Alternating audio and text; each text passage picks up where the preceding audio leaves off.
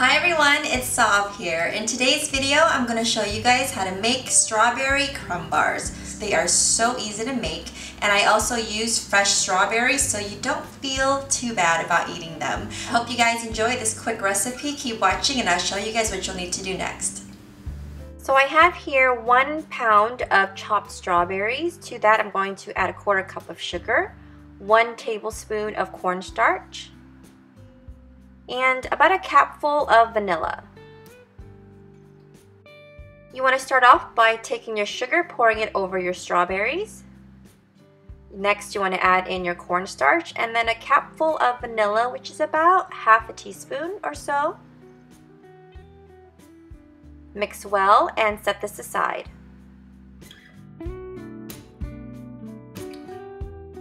Now it's time to make our crust. In my mixing bowl here, I have two cups of all-purpose flour, quarter cup of sugar, a quarter cup of packed brown sugar, and the zest from one whole lemon. To this mixture, I'm gonna go ahead and add in a nice pinch of salt. Now we're going to add in one lightly beaten egg and half a cup of softened cubed unsalted butter. I usually start off using a fork to mix it and then I just get in there with my hands and you want to continue to mix this until it's nice and crumbly. Don't want to spend too much time on this part. You want to have a lot of that butter still intact. That'll give you a nice good kind of flaky crust. When you're done, you want to go ahead and remove about half a cup of this mixture, place it to the side, and we're going to take that mixture and use it for some of our topping. If you try to use all of this for the crust, it's actually way too much crust and it's not a good ratio with how much filling that we're using. So don't forget to take out half a cup of that. I have a 13 by 9 baking dish that I fit inside here a piece of parchment paper.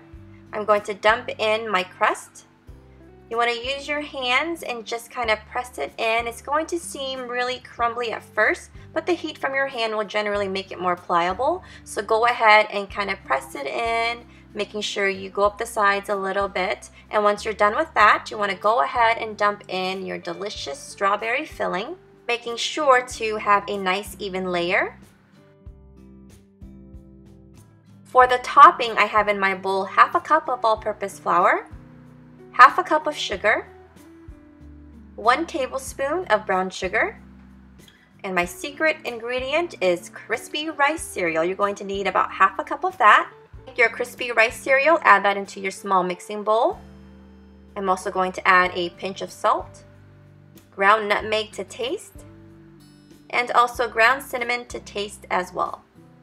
To this, you want to add in a quarter cup of butter flavored shortening. If you don't have that, you can sub for regular butter. Start off with a fork and mix to combine. And then gradually just get in there with your hands. Mix it until it's nice and crumbly. And then you can't forget about that half a cup of mixture that you had earlier reserved from your crust. Mix it all in with your hands. Finally, you want to take all that yummy topping and spread it all over your strawberries. And you know, you be the judge. You don't have to use all of the topping. You can use as much or as little as you want. I probably left out about a quarter cup of the topping here. I set it off to this side because I felt like this was just about right or enough. So you want to bake this off in a 375 degree oven for about 45 minutes or until the crust is lightly browned. And it's going to look something like this. Nice and yummy and bubbly. Make sure it cools down completely before slicing. All right, now it's time for my favorite part. So I have my crumb bars here. I packed half already to give away because I am just so nice like that. I got my cup of milk here or my mug of milk here and I'm getting ready to get down.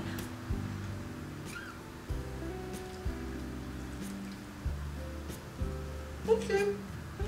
Mm. It's the perfect balance of tartness and sweetness. Anyone that knows me and my desserts, they're never too sweet. And this is the perfect balance of that.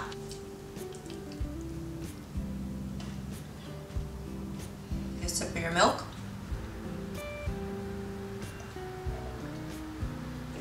I hope you guys enjoyed this quick recipe. Thanks so much for watching. Bye!